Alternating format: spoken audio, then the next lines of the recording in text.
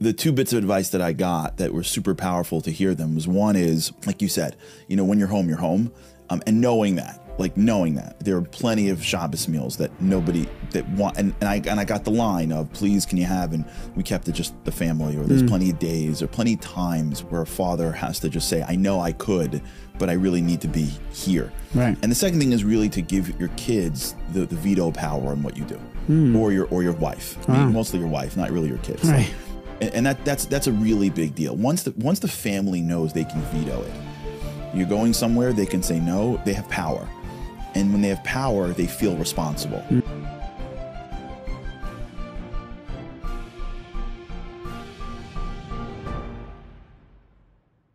Okay, I want to say a major thank you to Charlie Harary for joining us today. It's really such a pleasure to have you on.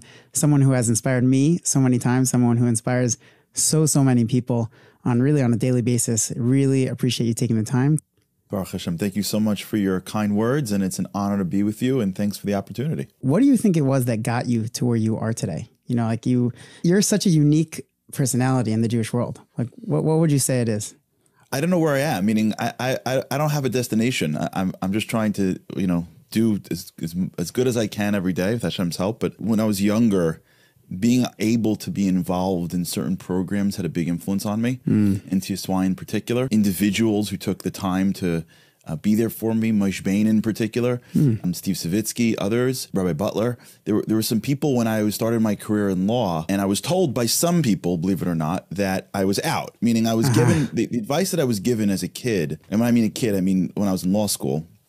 So I wasn't really a kid, but you know, the advice was you have a choice, right? Either you go into chinuch or a banis, and then you serve Hashem, or you go into law and you sell out, like literally, like it was like that. Wow. Um, I remember clearly speaking to one individual who was then the head of a major organization, and like he gave this great speech, and I like said to him like, I hope I could, you know, with Hashem's help, one day do something. And he said, "You going into chinuch?" I said, "No." He goes, "You going into Rabbanis?" I said, "No." He goes, "What are you doing?" I'm like, "I want to be a lawyer." He goes, "So why don't you make money and give it to people like me to do this?" Like, No there was no, it was like a crazy world. I mean, it's still, I don't know, but anyways, it still, it still is viewed that way for sure. is it really? I, I think so. I mean, you're one of the you've, of the few of, of a, like a speaker who's not necessarily in that type of position who you know who provides that. so be, having people and opportunities when you were young, it's Hashem, I should be Zocha. It shaped me and it, it, gave me permission to say, listen, there's no boxes by Hashem. Mm. You know, just got to do what Hashem wants. And a lot of these things, and I, I think it's completely, you know, let's say like, you know, Ziru, Binyan, right? There's, there's Zriya and Binyan. They're very different. So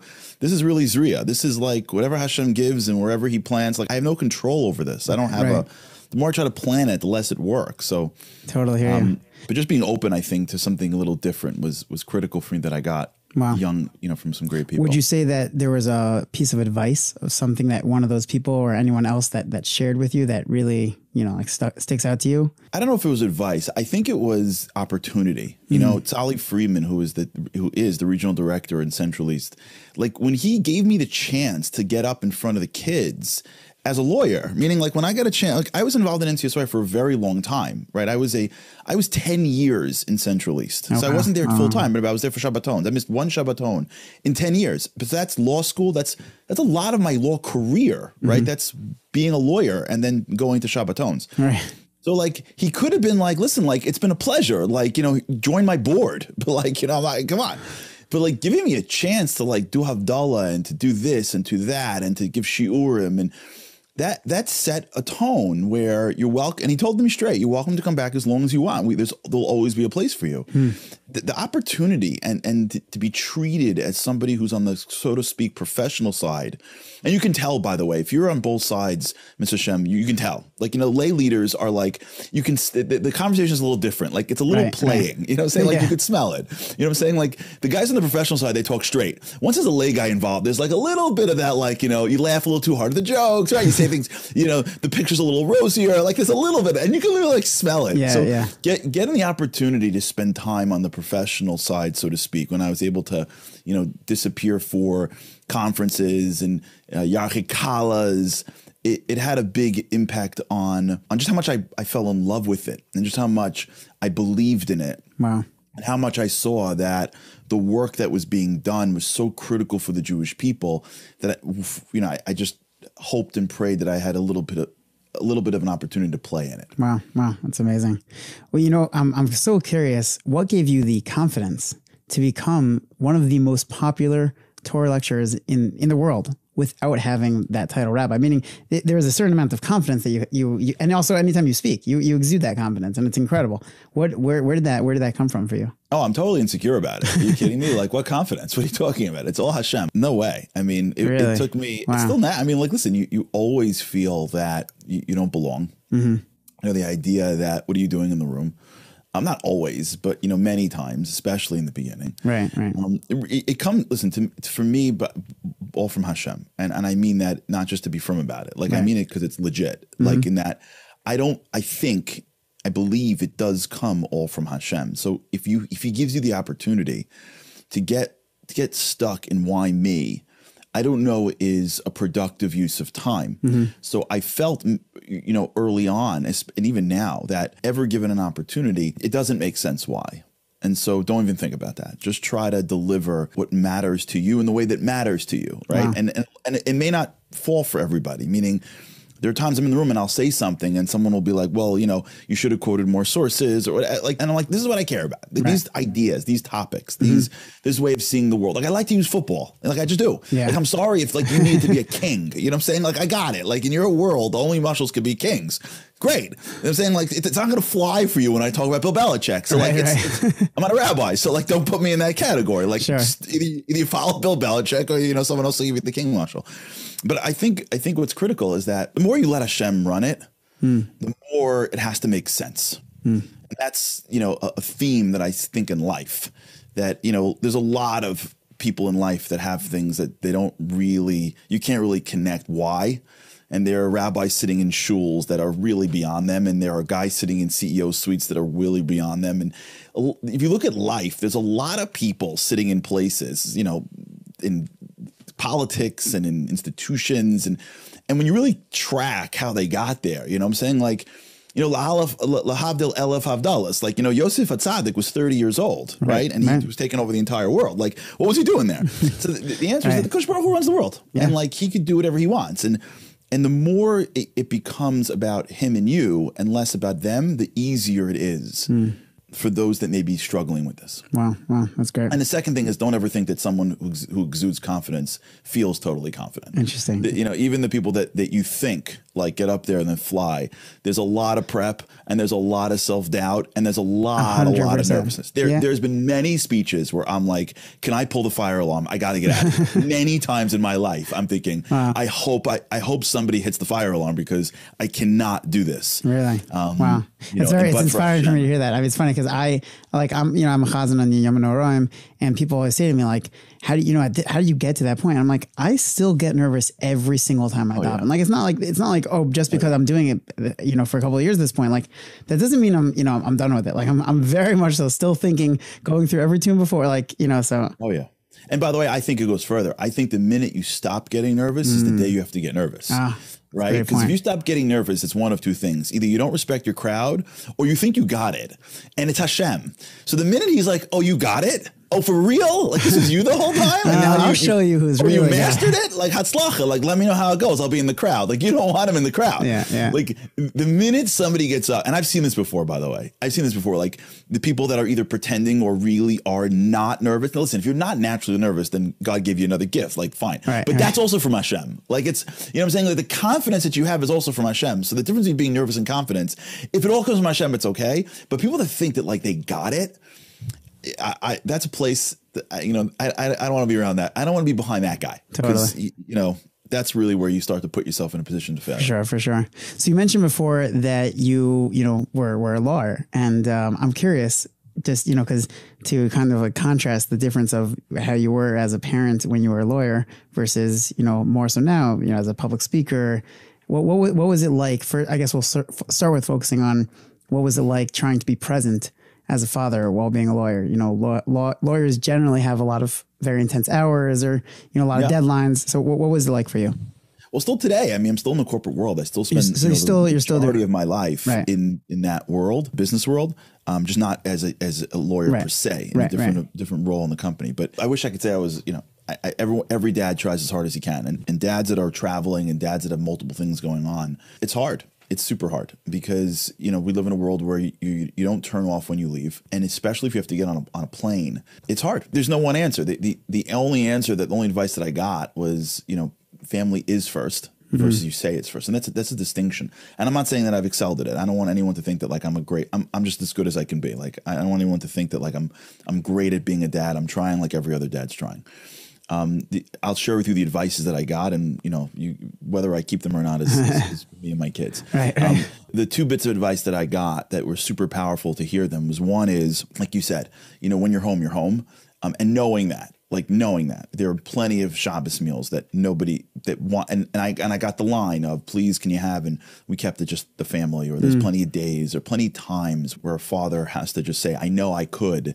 but I really need to be here. Right. And the second thing is really to give your kids the, the veto power on what you do, mm. or your or your wife, wow. I mean, mostly your wife, not really your kids. Right. and, and that that's that's a really big deal. Once the once the family knows they can veto it, you're going somewhere, they can say no. They have power, and when they have power, they feel responsible, mm. and that's a different. Now they're a shutuf, right? The difference between a partner and a worker is that a partner has a say, the dea. So if a partner doesn't want to invest, you won't invest. But an employee has no choice. Interesting. When you make your mm. family partners, and the way you make them partners, you don't give them just the speech of "we're all doing this together." Like I'll see you in two weeks. Right. You right? really it's, like get them get their involvement. You say like, "What are your yeah. thoughts on me doing the following X, Y, Z?" Shouldn't I? Right. Yeah. Mm. Or I mean, listen. The other way to do it is to include them. Right. right. You come bring them up. Fine. That's for sure. But the more, I guess, the, the less known way is to give them the veto power and say, "Listen, like, what do you think?" Should I or shouldn't I? Hmm. And let's talk it out. And if I should, we're doing this together. And if I shouldn't, we're doing this together. Like, you know I'm saying? Like, it's all of us together. So if, if, especially when it comes to klal, especially if you're balancing, right? If I'm going somewhere, you have a piece of this, right? We all have a piece of it. You know right, what I'm saying? Like right. the, the, the, and it's this is like straight up, like you know, if if if a husband if a husband or a wife or kids whatever lets the other person go out, mm-hmm. they have a piece of it. So now, do you want do you want to do it or not? Right. I, am happy to be the one on the on the plane, but uh, we're doing this together. Mm. So that that idea, that concept, I think is is is critical if you are if you're listening to this and you have multiple things going on, right? This is something that's beyond your job, right? Right, because if it's beyond your job, you really are in family time. And you know, I have a Rav in Eretz Yisrael. Um, his name is Rav Moshe Levi. So he like you know beats me up a lot. um, and he he he reminds me all the time that you know Kamocha really is talking about your wife, mm. right? And and your number one priority really is your children. And if you nail your children, then you can spend some other time with other people. Um, and it's not that it's I got to help someone I don't know right, and let right. my family suffer. Mm. So when it comes to like serving Hashem, you know, there is a concept of make sure your family's okay before you go out to the world. Then you got to go out to the world. You can't just like make sure your family's okay right. and just watch whatever you want, right? But that idea, I think, you know, was very helpful. Yeah, that's a that's a very strong idea. The, I never I've never heard that before. The v'haftarecha being like your your family or your wife and your children. Wow, very strong idea.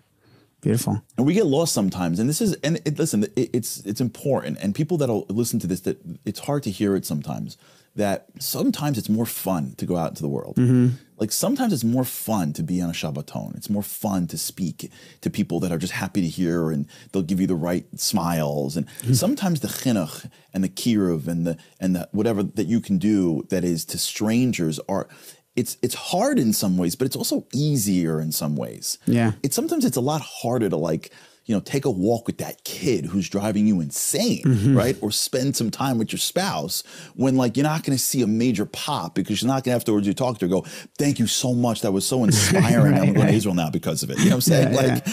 it's and so in the world of where you know we can sort of determine how great we're doing, it's hard to see it. But in the world in which really the effort and and the achrayas is how Hashem sees the world sometimes that you know so how do you, I'm not saying I've excelled in it. I don't right. want to no, like, like how do you break out of that? I mean, like because you're because you're it's such a great point. I mean, like it's it is so much easier for people to just say like you know I'm I'm going to run to this right now, and that's like exciting because you're going from one thing to the next.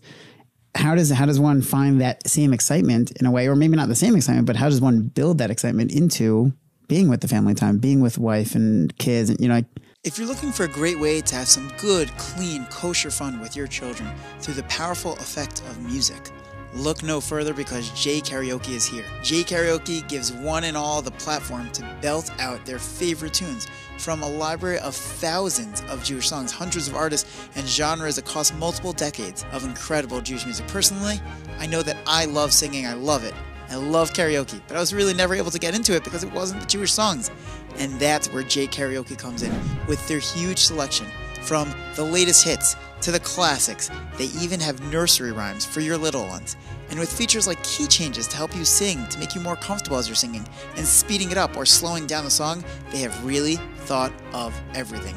To enjoy Jewish karaoke your way, all you need to do is head to jkaraoke.com. Choose a subscription that fits for you. And to make it even more fun, you could purchase their state of art karaoke kit, which gives you the feeling as if you are today's top singer. You can insert whoever you feel it is. Connect your kit to any device, like it could be a laptop, a computer, a tablet, whatever it is. And you plug in your speaker, plug in your J Karaoke microphone, and you sing away. It's as easy as that. That's all it is. And it's really fun. I checked out their website. Really looks amazing. They have an incredible, incredible amount of song selection. Anything you want. They got Thank You Hashem. They got Mordechai Shapiro. They really got it all. You can subscribe monthly for just $4.99 a month, yearly for $49.99, and we have a special deal here for you. For any of our listeners, if you use the code Jews Next Door D O R, you get an additional 10% off. And if you don't want your children to be using a device with internet, J Karaoke's got you covered. You can download the app onto your desktop. Once you have it up, turn off the internet, let them sing all day long without the internet. Check out J Karaoke today and let the fun begin. So I, I mean, I, I think it's it's it starts with the recognition of the tafkid, right? Like I think this is uh, you know the one thing that I got from Rabbi Levy who would really beat it over my head. And there were times where when the book came out and I was traveling, like there, there were times where you travel more than others, work and whatnot, and he would beat over my head a lot. Um, that you have to realize that this is an actual tafkid. Like, you know, your family, especially when it comes to children, you know, the goal really isn't just having them and making sure the school doesn't mess them up. Right, right. Right. Like, there, there's a tafkid here. And the tafkid is really chinuch and it's really kiruv and it's really hashpa. Like, there's a real tafkid when it comes to children, and it's mm-hmm. even though it's more subtle in terms of the impact of the, the the specific impact, it's much bigger in terms of the larger impact. Yeah. Right. So just getting that to me was a chiddush. Mm. Like just getting that. You, you know, you come out sometimes and like if you do something, if you go somewhere, you feel so good about yourself, and then like the kids will make it. The kids will figure it out.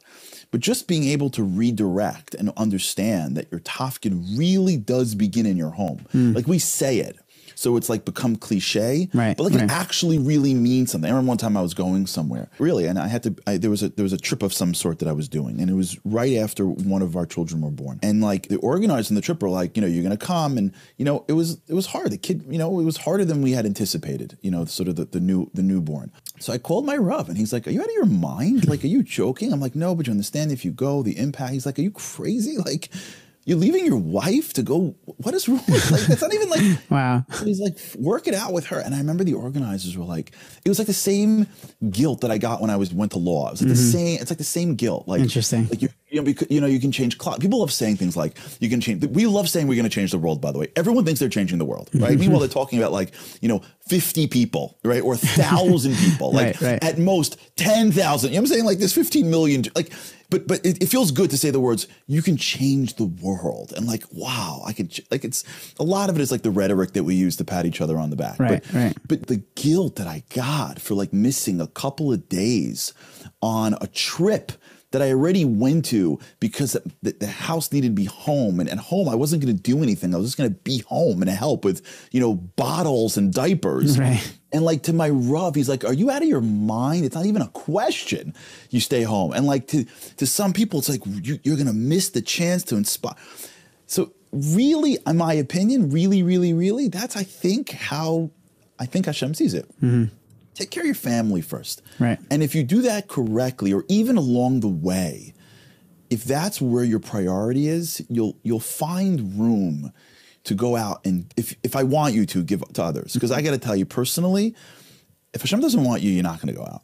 And even if you go out and you're behind a microphone and a podium, if he doesn't want you, you're not going to make an impact. And even if you do say the right things and people do think like they're impacted by you, they may not. It may not actually last for more than five seconds. Like you, the impact that we make is Right. 99% Hashem. Yeah. And when we're follow, we're trying to follow his ways, that usually requires more effort and less exposure. Mm-hmm. Then you can put yourself in a position to make an impact. Wow. Again, not because I've done this, but because I've, I've learned this. No, that's a great point. It's a really, it's a, it's a really powerful point. What would you say, uh, you know, as you left the law? I mean, I know you're still involved in a, in a different way, but did your, you know, being a father change in any way during that during that transition as you became more, and also like as you took on more of a of a speaking type of a, a role in the world? Being out of the house changes things. Yeah. Right. And that's really the question: is how long are you out of the house? Mm-hmm. And I, in my opinion, I don't think it has. It's really connected to you know what we call say like klal travel, Mm-hmm. as much as it's connected to just being out of the house. Uh-huh. You know, I, I have friends of mine who just have season tickets to the Knicks and Right. like to go out with their friends once a week and seem to be at every single cocktail hour for real estate and they're out of the house much more than I'm than you know somebody else who's Right, right. you know get, so like but it's different right because it's business right I remember one time my wife got a lot of musser from one of her friends because I was a law I was a lawyer right so I was working pretty hard I was working for Davis Polk which is a pretty sweatshoppy law firm Yeah, not how it is now in like the new world but back when I was around they really killed you Yeah. so I wasn't home at night a lot. And then like the thought that I would get on an airplane and like fly to like Cleveland to hang out with high school kids, like it's like you gotta be kidding me, right? Right. So my wife, my, my wife got it once from one of her friends. Like, really, your husband really needs to learn. It's time to grow up. Like, we were also involved when we were kids, but like, No come way. on, like she, you know, like one of those like good old friends. So like, I remember like we had a whole conversation about it, and then like the next week, this woman who gave my wife the the whole you know musser speech about how I got to give NCSY was by her house for Shabbos alone, and I said like, "Where's your husband?" He goes, "Oh, you know, he's on a business trip." I'm like, "He's on a business trip? he works so hard every night. Like, where's he going?" Well, there's an opportunity to open a new business, and he's wherever for like a week and a half. I'm like. Wait a second. Wait a second. Oh, my wife got it because I went away for Shabbos. Your husband's away for a week and a half, and that's cool. Like, Yeah. what's up? right? For business, it's okay, right? For Right. money, I can fly wherever I want. Like it's money. I could be every single night, like Right, at a right. cocktail hour for the chance that someone make, gives me a deal. It's not right, right? You're, when you're a dad, count the nights out of your house. Those are the nights out of your house. Yeah. And whether you're going out for business or for klal or for learning, like it counts. So you have to make a cheshbon. And then you got to figure out, like, why am I leaving? And is it critical and necessary? And what's the reason? And to me, that's it's the same. And you have to try to increase the quality of why you're leaving because your kids know.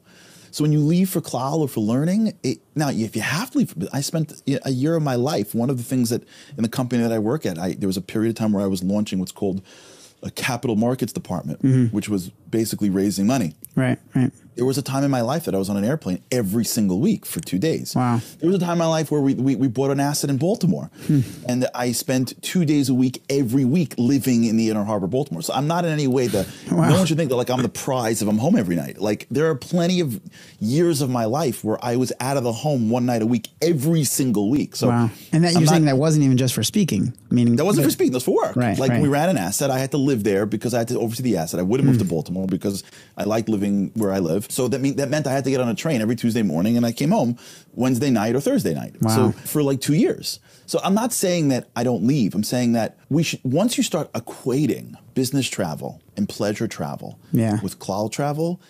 You'll realize people will realize there's a lot more travel that you that you, you're doing that if you just substitute it with klal stuff, mm-hmm. The parnasa will most likely be there, in my opinion. Right. So that's the Abish's business too, and and you, you'll maintain the time that you you're, you're maintaining anyways with your relationship with your kids. It's a really great point. I'm curious, you know, this happened like many years ago. I was, I was uh, many, many years ago, I was a schnitzel guy. And I remember being working at a bar mitzvah once, and someone said to me, You know who that is? That's Charlie Harary's son. And I, I remember, I literally at that time, I was thinking to myself, I'm like, I wonder what it's like for him being being that. Meaning, how did it affect your children? Being Charlie Harary's children, like did, did it affect them being in the spotlight, having their fathers in the spotlight? Like, did that? Did, did you feel that affected them? What do you think from their perspective? Like, I'm, I'm super curious to hear. I'm a nobody. I'm a regular dude, man. I, I'm, I'm like a regular. I, whatever Hashem puts in, it's, Charlie Harari, what do you mean? I like. I, think between, between me and you, it's hard to be the rabbi's son. Meaning, mm. I, I don't think it's. I, I, I don't. I don't. Well, why? think What's that- what? What would you say is different? Meaning, obviously, you're not viewing yourself as that, but No, but like I'm like a regular guy, meaning like because you know the rab I find it harder for the rabbis' kids because because the, the human brain lives in trees, right? It's really hard for us to live in the fo- to look at the forest, right? The- that's how our mind works. Like if you ever heard a story or saw a movie or something with someone that dies, right, and you find yourself crying, like you ever wonder, like, why do you do that for, right? Right. It- it- the guy didn't actually die, right? He won an Emmy award for dying, so why are you crying, right? And the answer is because the mind is really good at getting into the weeds. That's just mm-hmm. how we work. It's a survival technique that Hashem gave us. So it's like a, you know when you're in high school, like you think your life is your high school, right? When you're living it, that's why people get up and say. We're changing the world, and they're talking to 80 people, right? Like, because they, they think, because that's their world. They don't know that there's a million Jews mm-hmm. in their neighborhood that's not keeping Shabbos, that, that, that, are not coming to shul, right? Right, right. They're not involved. But it, th- th- this is the Jewish people. You ever hear this? Like, we are representing the Jewish people. Like, really? Like, you know Right. how many Jews that don't even know your name? Like, why? Why do they say they don't mean? They're not trying to be God. It's because our mind is very good at staying in the, the weeds in which we're in. Mm-hmm. So that means that if you live in a community, the rabbi is usually the most exposed guy in the community. Now, if Right. you go to a different community a lot, it's different. But if you live in your community where most people live, right? They work and play in their community Right, right, right.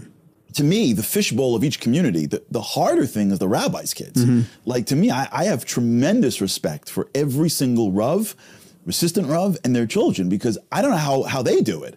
Because you know, the, the- your dad's always in the front, right? He, he, every Shabbos he speaks not to some group that never heard him before, and then he's leaving that out on an airplane, Right, right. Like, right, like, and, and he can use the same stuff because they didn't hear it in Chicago yet until Torah Anytime. God bless them, he came and put it on the thing. But like, for the most part, you get to recycle. This Rabbit's got to get up. God bless him. Come up with new stuff every single week, right? Always be inspiring. Step up huge for Yontif, and then there's a whole there's a whole group of chevra that think they're the rabbi that has to comment, and then there's like a bunch of kids that are his kids that have to like play with the rest of the kids. I find that the hardest kids that have to go through it are the rabbi's kids, and when they do it, God bless them. Like they- they're th- th- those are the heroes. Like Right, you know what I'm saying? Like I hear you. So you, you didn't know, find that it affected your kids? so no, no, no. I don't think so. Like I, maybe I, I don't know. I, but but like you know maybe I, I you know I hear you. So Yeah, let's let's just- let's yeah. let's get into the uh, into your your household. How did you try to help your children develop a close relationship with Hashem? How did you you know like you said before like it's all about that you know like really your your household. So you know let's go through some of the things that you've done with your household. Let's start with Well, I'll, I'll give you my hashkafa, right? And whether it, it delivered is, is not, I don't know. It's my, you know, but I'll, I'll tell you some of the things that I learned, and I'll, I'll tell you where I learned it from. Most of what I learned about Hashem and the family is from Rav Moshe Weinberger. Hmm. And so his way of seeing the world has a very big impact because I've been sitting two feet from him for the past 15 years. yeah, that's awesome. And when you hear him speak, eh, very much the hashkafa of Hashem is, is critical. Listen, Hashem is a complicated thing for kids because, first of all, they don't get it because Yeah. it's Hashem. Um, and second of all, because when the kids are little, you, you don't really gotta, there's a certain amount of consequence that's required for kids to stay in the system. So the idea of, you know, you know, rewarding consequence is normal when you raise children. Right, so you can very quickly get into the world of if you do this, you get this, and this is good, and we like this, we don't like this, right? Mitzvos, averos. So the, the chinuch of kids when they're little can really very much fall into Hashem being sort of like a ref. Um, or worse, being like you know the person who's like usually you know disappointed in you. Now, if you're a kid that sits nicely and can like memorize and analyze, you're gonna have a pretty easy time because most places you'll be successful. But if you can't sit, along the way you'll probably find some rough who's really frustrated you because you're disrupting the classroom, and then all of a sudden, then Hashem starts becoming more and more disappointed in you. Right, right, interesting. And and that's a challenge because you know it's very easy for you know sitting in education to go to Hashem being mad at you, right? Whether you can follow Gemara and whether Hashem is mad at you really are two different things. yeah, yeah. But some, sometimes they collapse. Yeah, it's true. Yeah, no, as a, as a classroom teacher, I mean, I, I see that all the time. My students think like, oh, they're like, say like, Rabbi, I know you hate me. I'm like, I don't, I don't hate you. I love you. I love you so much. Sometimes distracting. That's a separate thing. Just because Right. you doesn't mean I, you know, you're, you're an amazing, you're an amazing individual, amazing person. But you know, two, but they they have a hard time seeing it as two separate things. Yeah, and there's there's a chiluk here. Uh, There's three. I would say there's three things. One is that some rabbis don't really get that. They don't really understand Mm-hmm. that, like, for a kid under the age of like fifth grade, like there's Hashem, and on top of Hashem is their Rav. Mm-hmm. Like, you know, I, I got this from a first grade teacher in Shiva Katana. Like, he said br- brilliantly. He said people need to understand, and when you're a pre one A first grade, second grade teacher, like, there's your parents. There's the Ribbono Shel Olam, then there's your Rebbe, right? And when the Rebbe's like upset because the classroom's out of control and the kids sees it. And little kids, they're trained in, in verbal recognition, right? That's how kids communicate when they're little. Right. Before speaking takes over, they're watching. So little kids grow up with the world, and, and there's a lot of kids that walk around and think like Hashem's disappointed. They're still from, right? Because where are they going? They're like in third grade, but like right. they deep down are starting to create a relationship in which he's disappointed. Hmm. And davening's a big deal, right? Because you come to shul and do you, or do you stay in shul? Don't you stay in shul? Right? That whole world is another world. So when you get out of shul, when you get out of school, then you got to go to shul, right? So now you got to sit next to your dad for two and a half two whole and hour chakras and like forget about it. And in some shuls, like forget it, they can torture you. Yeah. I mean, like you can't believe, like you know, laning can take an hour and a half till everybody gets on Shabbat, and you know they're still using you know tunes from 1947, like and like the kid is going out of his mind, like you know between Shwekey and Mordechai Shapiro, every week is a new awesome song, and then it comes to shul, and like they're still rocking the songs that they used when they first came back from the Holocaust, Right, right? right. So the kid's going nuts, and dad's mad. But he, or, or if he's really like, you know, he's, he's passive aggressive mad, whatever Right, it is. right, like, there's a lot of, so you could be like a 13 year old boy and have like an enormous amount of disappointment. Mm-hmm. That's all bad, Yeah. right? All of it hundred percent. all of it. And that's what the Ron is like. All of it. Just le- let it go. All of it. Ron once said, they said, when should you start bringing your kids to shul? He said, when they're ready. So he said, well, at what age? So he says, whatever you do, the agent, you're not going to get mad at them. So he says, I don't understand. So he says the greatest line of goes, this is what, I heard this once live, was great. He said, who are the best daveners in Klal Yisrael? Walk into a shul, someone's going nuts. Who's the best davener? Usually, Bali Tshuva. You walk into a show and a guy's davening like crazy, Yeah. about you, right? hundred percent.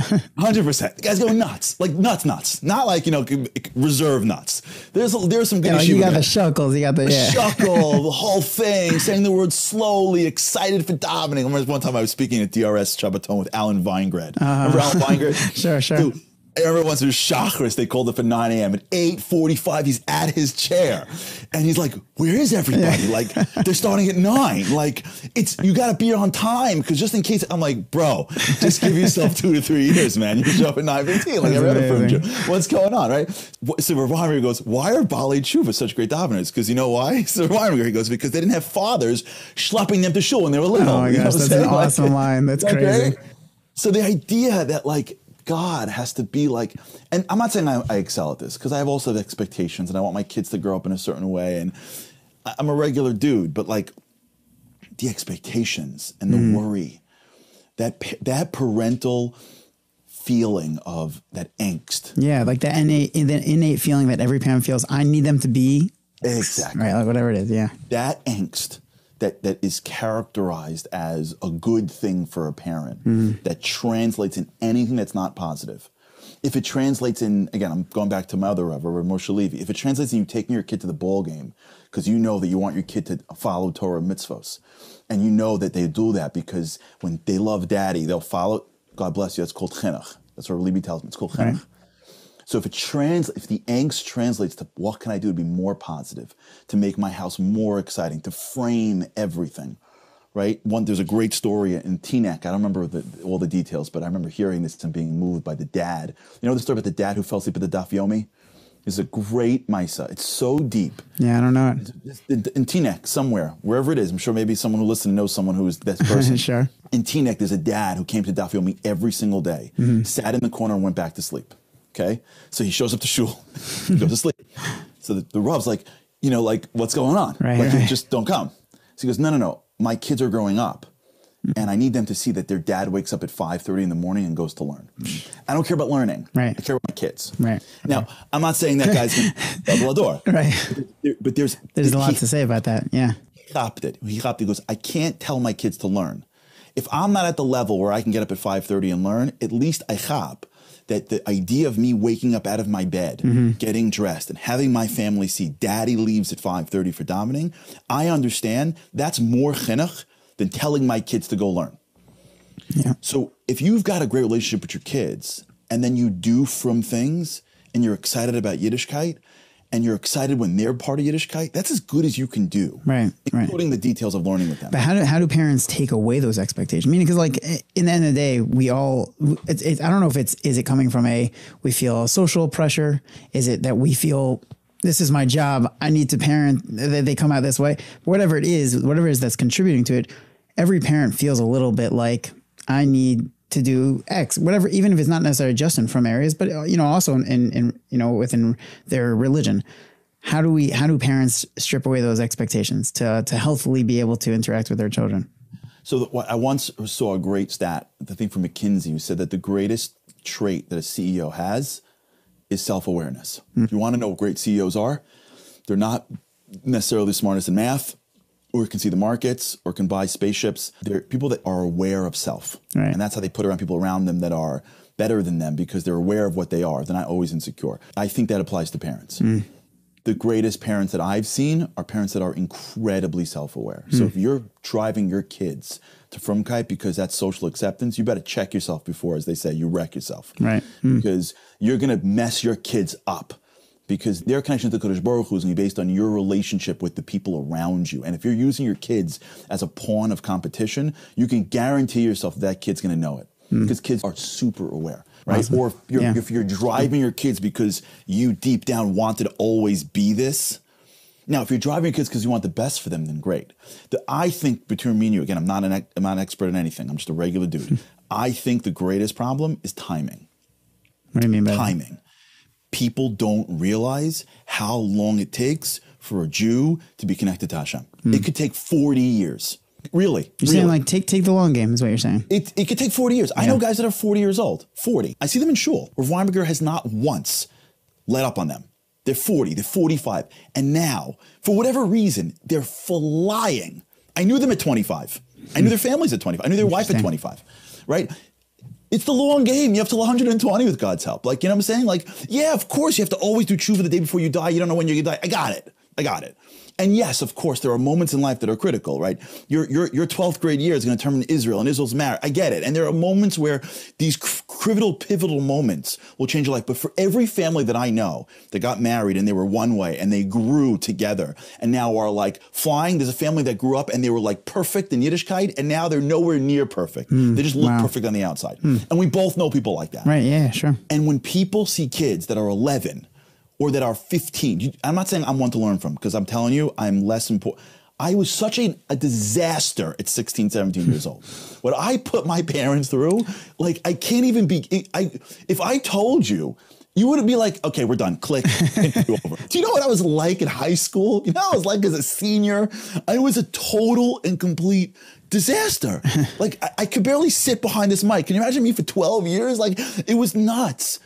And like, if my parents would have like dismissed me from Yiddishkeit because of how uninterested I was in Yiddishkeit when I was a senior in high school, Right. I would be like, I would be sitting in, a, I would, I would, I wouldn't even be close. Like each kid has their path. For some kids, and you see them in shul, they're 11, they finished off Yomi. You know what I'm saying? Like, God bless them. Yeah, You say like, okay, it's their, it's their neshama.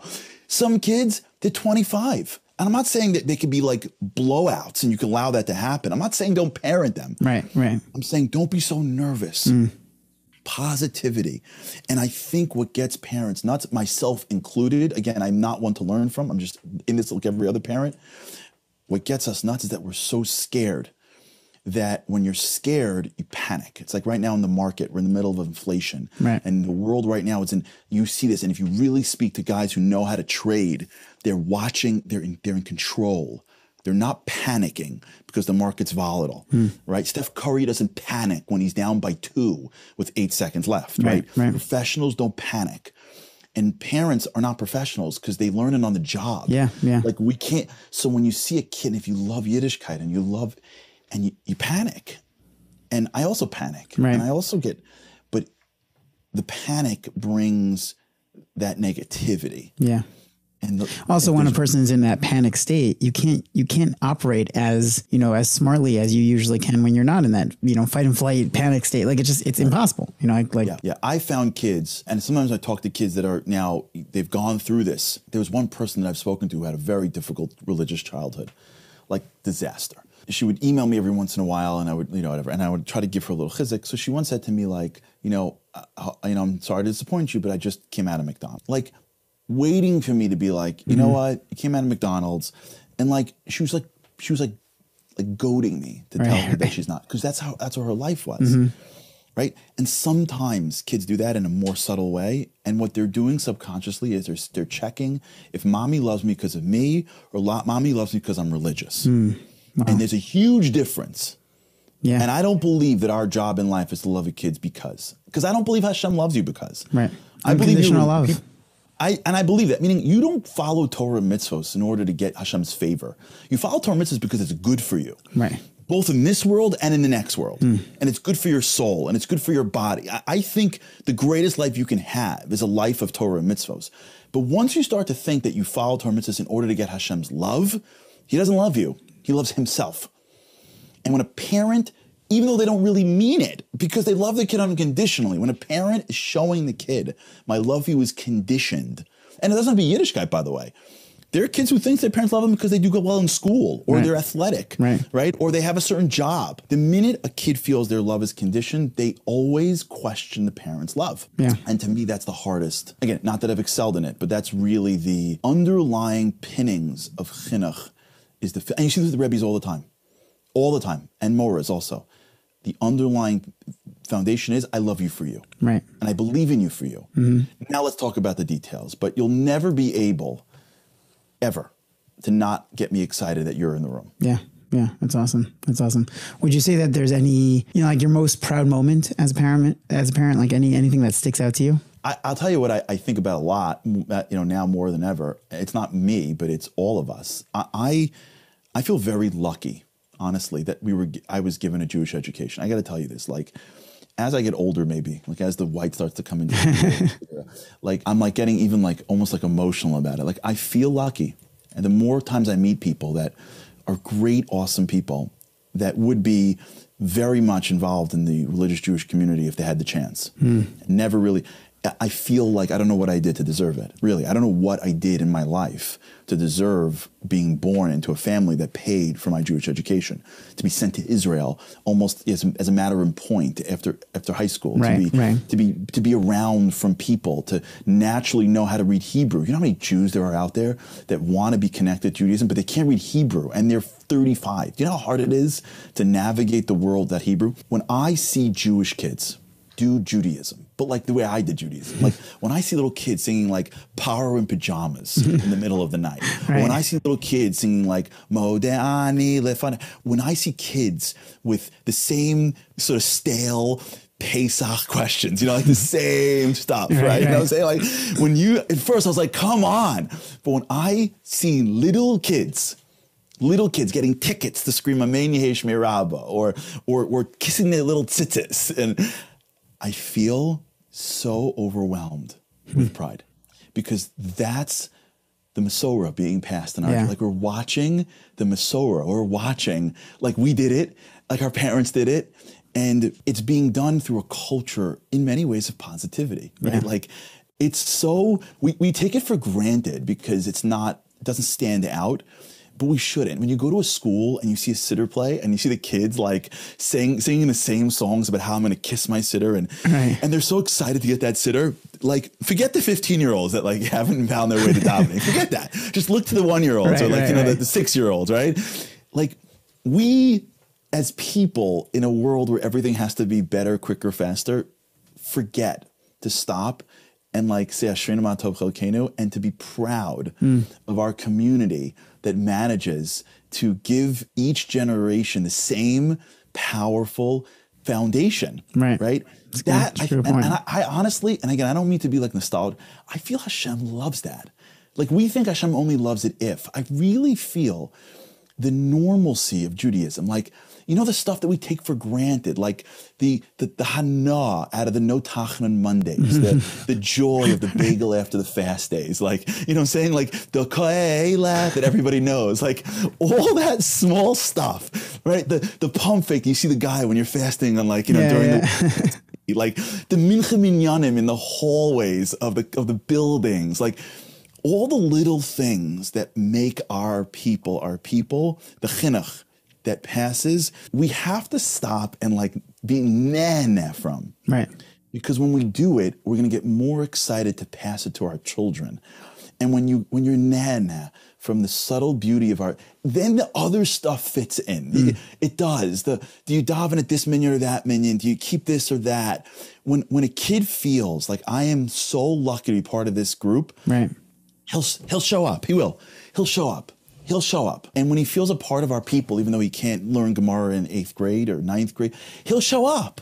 He will. He'll, he'll and you just keep at it. He'll show up. If you look closely enough at the different communities in America, and you see how many middle-aged people are on fire now. Right. Afiomi on fire. Yeah, yeah. and- There's so much Torah being learned now. It's like incredible. so much, and they show up to Yom Eons, and they learn Pnimius, and and they, they you take them to the you know NCSY Shabbaton, and they're dancing with the kids, and Yeah, they're yeah. so proud of their kids to go.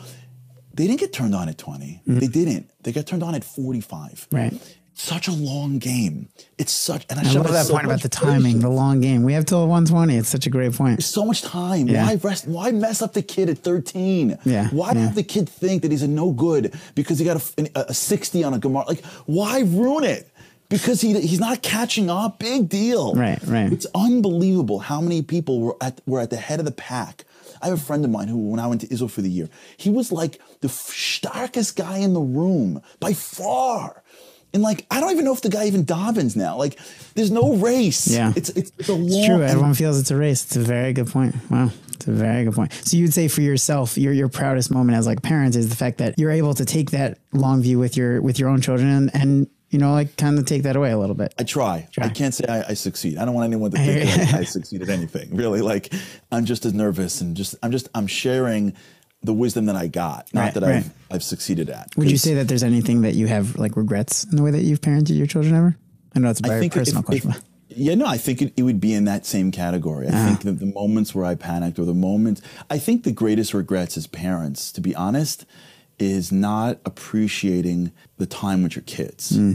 I think as kids get older, parents start to realize that just the time alone is worth it. Yeah. And you know, when, when the kids are little, they're not as exciting because after they're okay and healthy, Mitzvah Mm-hmm. And, and they're somewhat entertained, like you move on to things that are more intellectually stimulating. Right. And as the kids get older, you start realizing that like I gave up so much time with them and they were ready for me. Now they've got friends and they're they're too busy and they're running around the, wherever they're running. And now, you know, you're in the, not in the way, but you're you're like you're not as critical. When, when kids are little, they're critical. You're, you're critical to them. When kids are big, you're less. Right. You start to learn as as as you get older the idea of kasha elai pridaschem, like the Kodesh Baruch Hu saying like just give me one more day. And you're Right. like, come on. And it's because Hashem's like, I just want to spend a little time with you. Like I kind of, you guys are so big and important. You know what I'm saying? Like Right, right. You're, you're big. You're like, you know, you're important. You have all your friends and you're, you're too busy hawking about what you're hawking about. Like, I just want to get a little bit of time with you.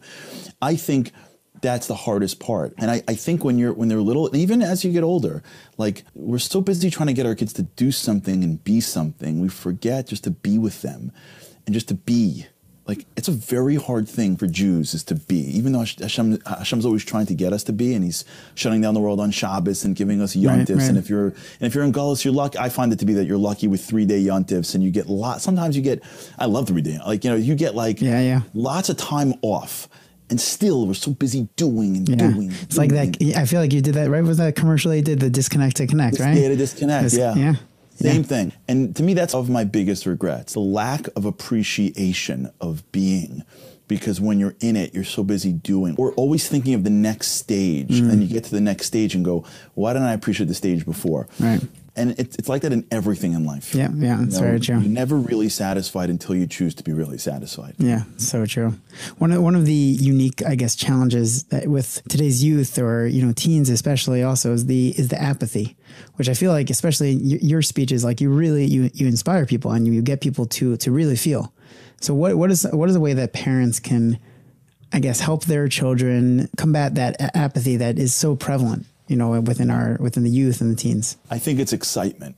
I I think it's parents are so busy that sometimes they forget to be excited. Mm. And so as a result, they are not projecting excitement to their kids because they've done it already. Like, you know, a, a dad who's been to shul, if you're ki- like he's been, he knows what's going to happen. He's got, he's, he's balancing his life and his emails. And so he's worried that his kids aren't excited because he's worried they're not going to be connected. Meanwhile, he's just as not unexcited. Right, Like, interesting. I, I said it by, with a joke, but like the level of excitement that you have for No, no, it's a great point. That's such an interesting point. we're so excited to not do sometimes to be. Weinberger spoke about this Shabbos, the difference between the mitzvah and being yotze from the mitzvah. Like, what's more exciting? You Hmm. know, leaving shul after davening or coming to shul before davening, right. Right. Like, you know, there's a lot here, exotelic, autotelic. Like, we as adults have a chance to delve into the meaning of things, which will then give us more excitement for the thing.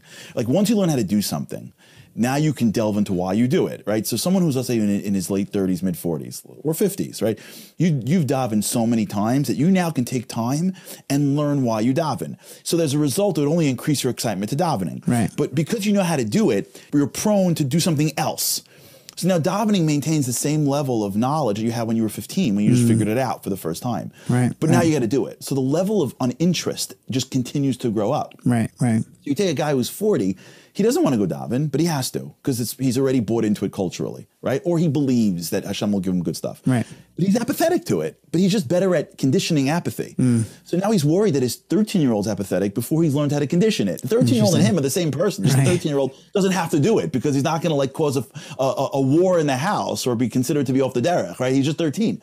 But dad's also not excited. Mom's not excited either. And that's the greatest challenge is that stuff that we know how to do isn't exciting. Mm-hmm. When we're in a position to look at Judaism and delve into why we do what we do, which will only increase our excitement. Right, Right. right. I remember one- Rav once said to me when we were in Israel for the year, he said that um, a guy was giving him a whole thing about America and Israel, how in America it's hard to be Jew, religious, whatever.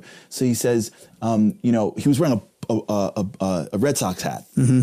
And he says to him, You're a Red Sox fan? He goes, Yeah. He goes, Don't you live in New York? He goes, Yeah. He goes, You ever go to Yankee Stadium? He goes, Better believe it. He goes, Of course you take off your hat. He goes, Never. yeah, go, you think I take off my Red Sox hat at Yankee Stadium? He goes, I would sit in the Yankee bleachers with my hat on. He goes, You would be moser nefesh? He goes, "The Red Sox. Any day of the week, Rabbi. He goes, Why? He goes, Because I would. He goes, You know why? Rabbi says, He goes, Because you grew up and your father was yelling at the TV every single Sunday.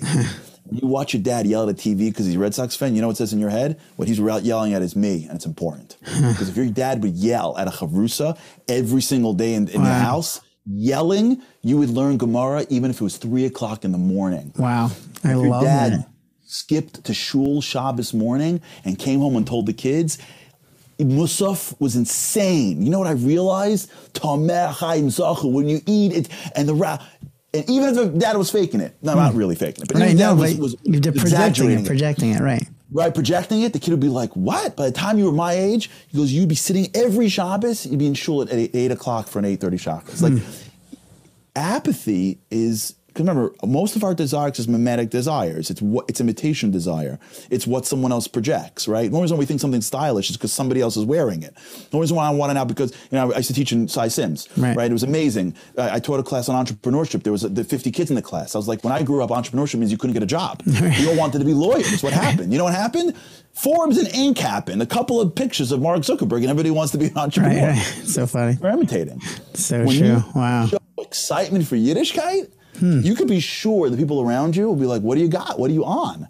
Right? And first they'll be maybe a little threatened by you, like, "Oh my God, what's wrong with you?" Right. Because that's normal. Because if you're excited and I'm not, there's something must be wrong with you. Yeah, yeah. And after after a while, the people that are in your employ or in your world, you could be sure. I love that. sure be It's like what you, uh, the idea that you're sharing is is it's modeling, but like on such a higher level. Like it, hmm. it's it's the excitement, but with such a depth behind it. Oh, I love it. Wow, that's Sure, awesome. For That's sure. You see it all the time. You see it all the time. Dad gets into Daf Yomi.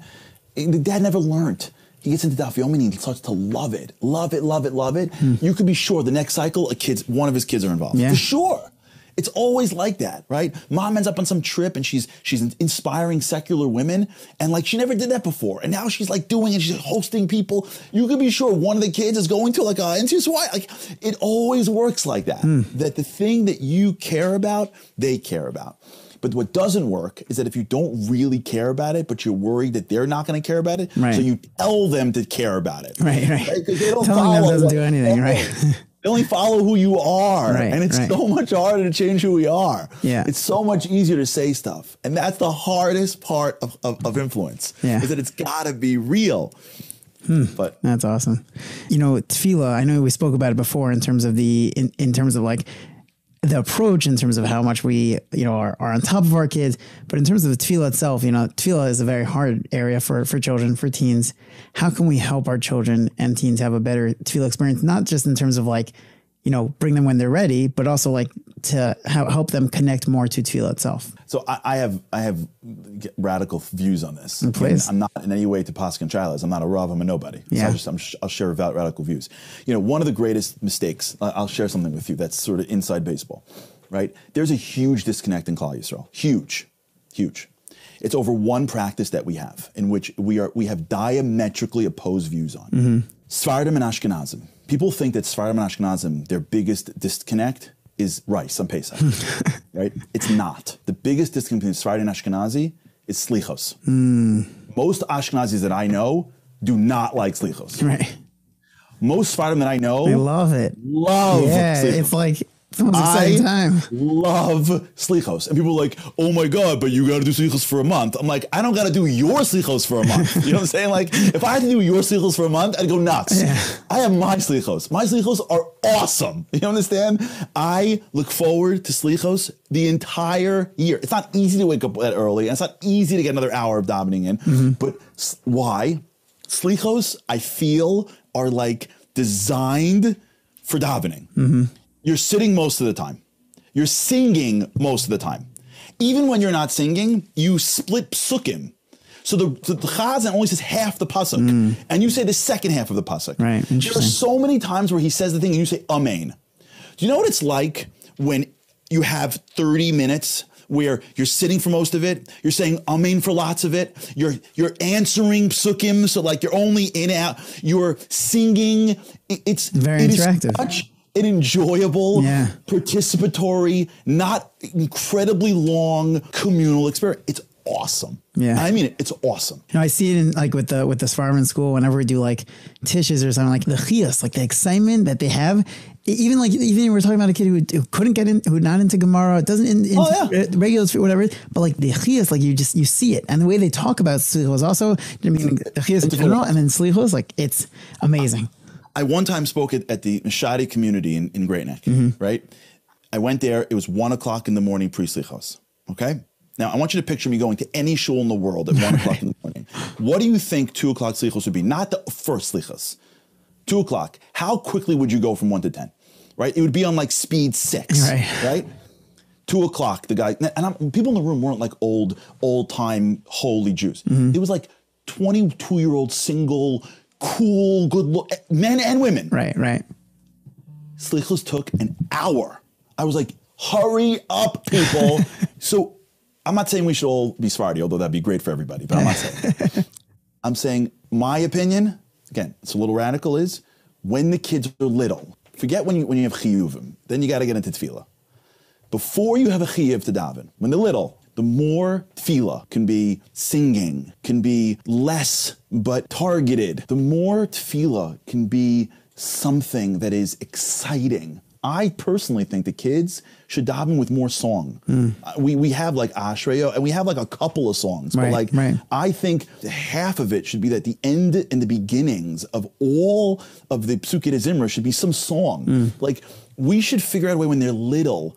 Forget when you're 13. Then you should do what everyone else does. That, that- you should never change tefillah or the tzuras tefillah Right, when you become a bar mitzvah. You can't because then, then you start messing up with, with, with Yiddishkeit. Right. You can't change the Masorah.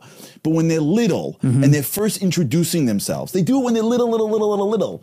But as you get older, the more they're singing, the more it's less where it's enough, the more it's participatory, the more it is an experience where people are pumped about Yeah. The more it'll get into their heads.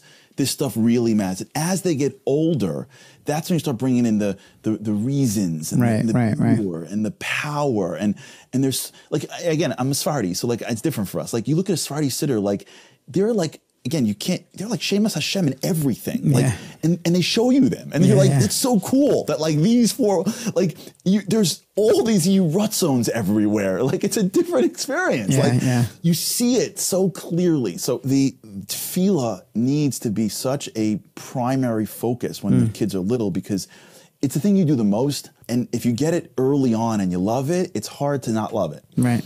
Right. That's true. Yeah. I guess we'll two, look at it two ways. Number one, just in general with teens. I mean, obviously, ideally, if they've already had that great experience, great. But in terms of with teens, what would you say to do with teens to help them have a better, more positive experience? Teens, I think, are also in, in understanding it. Just got to go like in a minute if that's okay. Sure, sure, sure. Um, teens teens i find to be need a lot more understanding it's amazing how teens will do stuff that they, they understand but they don't stuff teens won't do anything they don't have Yeah. right they'll go keto never eat a carb and run around the lake 40 times if someone tells them it's going to help them build this muscle to become a ball player Right, right right. they'll study for 20 straight hours every day if someone tells them they'll get into a better school Mm-hmm. right the, teens aren't like you know out to lunch they're just not playing the game. They don't do things because you want it. Right.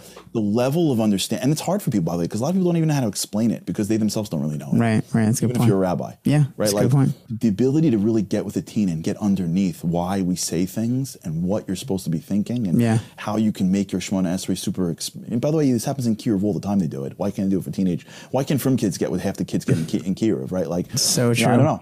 You go to like a really good, you know, kiruv program and they're talking about tefillah. They're doing a great job. Yeah. They really are.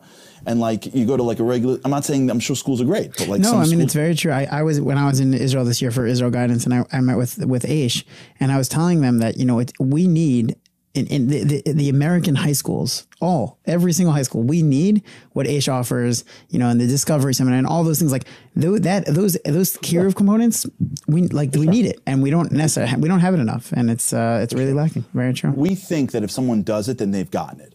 And it's not true. Yeah. It's not the long game. That's the short game. Yeah. Right? Just because a kid does it doesn't mean they have it. It means they're doing it because they have to do it. It's very true. If you really want to measure your success, don't look at a kid while he's in your institution. Look at the kid when he's out of your institution. Right, right. That's Same with Cholas the parents. Talmidim, the first first part of Cholas Talmidim, right there. That's exactly what it says. Right. That's the whole you said with why it's called they're called anacles, Mm. right? Where does anacle come from? It comes from the, the burning bush, ukal, right? How do you know something's eternal when it went? Because that's where it comes from. It doesn't burn. So why is an anacle eternal? Why is it inconsumable? Because the kids may do it because they're in your employ, Mm. Never but your that. grandkids won't because your grandkids come from your kids. So you know what kind of parent you were? You can only tell when your p- kids have wow. kids. So you only become eternal when you're not when you pass it one generation, when you see it being passed two generations. Wow, wow, wow, Right? wow. And when but when they play that way, if people play, if high schools play to after college and parents pay to when their kids have kids, if we're always playing the long game, we make different decisions. Hmm.